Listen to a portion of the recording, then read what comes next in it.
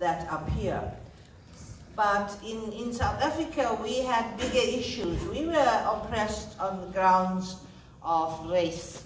So all Indians were black, all people of color. And we were very poor because our grandparents were indentured laborers. But they preserved their culture, their language. You could see all of us have Tamil names. Uh, so it's true, we, we, we picked up some things, but we had to learn to uh, work together to fight apartheid. So that was our biggest struggle. And in the process, we had to learn to communicate. If we spoke in Tamil, do you think all those other groups would have understood us? No. We had to go and fight on their ground, and in order to do that, we had to learn to speak English. So I see the same here in your struggle. It's very important that we have, uh, uh, you know, thousands of years of history, the Tamils. Uh, many people tell me all the time, you Tamil people are very clever. I keep quiet saying, okay, it must be true. um, so we are achievers. When I come to conferences like this, I'm so impressed. You know, I mean, we don't look grand or dress very wealthy, but each one uh, is, is a professional and an achiever. So, so we should be proud of what we've done, even in the struggle.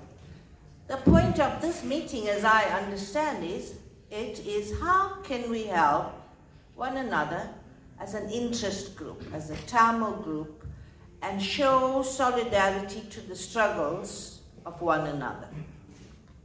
See, while we were struggling in South Africa, we didn't get much support from Tamils in India because you didn't know that we were going through terrible times in South Africa. Um, and similarly, when the uh, oppression of Tamils in Sri Lanka was, was going on, the conflict, and is still going on, I visited the country, there was a sense that there was not enough support from Tamil Nadu for the Tamils in Sri Lanka. I'm not saying so, they felt it and they said so. So then there is something wrong. Why aren't we learning about each other's struggles and speaking with one voice? So this is what I understand this meeting to be, even though I didn't understand all the very good speeches. So I support that. All over the world, nobody cares about your rights and so on unless you get together as an interest group. Now, what do I mean as an interest group? For instance, women have been oppressed all over, no exception. That includes Tamil women. I don't see many Tamil women speakers here at this conference. So we have to fight our own struggles. And here in the United States, it's, it's really reached a point where finally women are saying, and especially since this comes from movie stars, they don't like all this touching and uh, sexual remarks and sexual harassment. You know, I mean, they even went for Joe Biden because he kept putting his arm around women. And so finally, the men are understanding the point of view of women. That rape is a very serious crime, sexual violence is a very serious crime, and you have to respect women. So it's women getting together to spread that message, and I think they're getting successful. I have two young women here whom I just met. They will never put up with the nonsense that we had to put up with. Yes? So that's great progress. Uh, let's look at persons with disabilities. If you look at the building we are in, we don't even think as we run up and down the escalator and stairs, how is a person in a wheelchair going to enter here? How is a blind person supposed to read the videos we see the videos we're showing and interpretation for the hard of hearing. So finally, you know, the, the mo most recent, the most recent treaty adopted by member states was on people who have disappeared. That's very important. But the one before that was the Convention on the Rights of Persons with Disabilities. What did they say, the persons with disabilities? They said nothing about us without us. So they don't want other people to speak for them, they want to speak for themselves.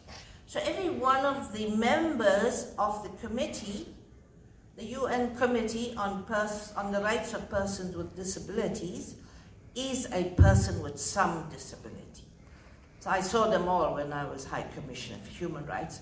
So this is a picture, big picture of what I'm leading to, why we should never apologize for getting together as Tamils in every corner of the world and watching out uh, and understanding what, it, what is it that the people, the Tamils in Sri Lanka want.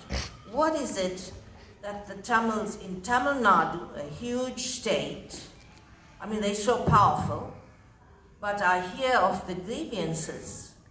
I hear of inroads being made against your language, your land, and so on. And if you don't pay attention to that, before you know it, it will be overtaken. So I hear you on that. So we have to, so to, to me it's an education to hear, to hear you. Because I did read this book, it's published by uh, Angana Chatterjee, a close friend of mine. It's just come out and it's called, um, uh, well, I forgot the title now, uh, but it's about the Modi government and, and how they're beginning to impose extremist forms of his brand of uh, Hinduism on the, on the rest of India, including suppression of other languages. Um, we have to get anxious about this. We have to worry about Tamil-speaking people in the rest of the world. They may have divisions. I, even here, I hear different points of view on what it is you want. Do you want self-determination? Do you want your own state? Do you want to work together? Do you really have anything in common with Tamils in other parts of the world, such as South Africa, who don't speak Tamil? But they are Tamil, they look it, and uh, they work as hard as you. So do we really have things in common? So we have to tie up the issues that concern us. And as I see it, it's human rights violations. If a single Tamil anywhere in the world is threatened with violation of their rights, then we should care about it. So that means unity, united action, sharing of information and knowledge. So I, oh, I hope that, uh, you know, it's very hard to sit in a meeting and not really understand what speakers are saying. But I think that that is the message that I will take back with me to South Africa to say this is what I learned from the conference. Thank you for this opportunity.